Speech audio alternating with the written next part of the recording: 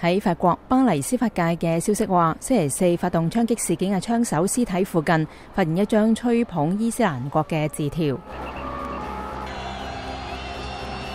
伊朗前总统艾哈迈迪内贾德被拒再参选总统。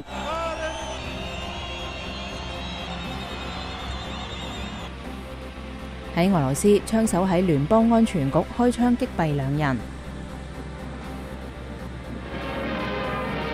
英女王伊丽莎白二世九廿一岁生日，成为英国历史上最长寿同埋在位最耐嘅君主。